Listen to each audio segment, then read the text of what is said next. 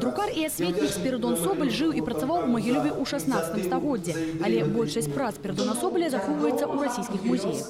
Год таму магілёўская журналістка Алена Барысава сустрэла яго друкаваныя работы ў нацыянальнай расійскай бібліятэцы ў Санкт-Петербургу падчас здымкаў праграмы «Знаёмыя незнаёмцы» для нашага тэлеканала «Беларусь-4». Так з'явілася ідэя стварыць кнігу пра знакамітага земляка. Ідэю Алены Барысавай падтрымалі ўлады. Адукацыя і кніга гэта той здабытак, які павін, якім павінны мы ганарыцца.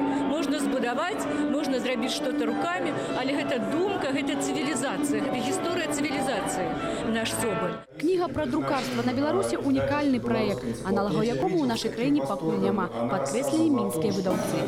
Ужо прагучала прапанова зрабіць аналагічныя даследаванні ў іншых рэгіёнах вялікую цікавасць не толькі даследчыкі беларускія але і замежныя з якімі мы таксама выдавалі гэтую кнігу. Маецца на увазе расійскія польскія украінскія літоўскія. Усе яны мелі дачыненне да падрыхтоўкі этой кнігі. Яна пры, прыцягне цікавасць э, чытачоў якраз напярэдадні 500годдзя з дня выхаду першай скарынаўскай кнігі якая адбылася ў 1517 годзе Пакуль надрукаваны так званы сігнальны узор, адзін асобнік, які і паказальны прэзентацыі. Кнігу плануецца крыху дапрацаваць, прыкладна праз месяц яна трапіць у друк, а потым і ў свабодны гандаль, паведамілі выдаўцы. Алесь Рыбалка, Ганна Лаполь, Александр Тарасаў, Навіны.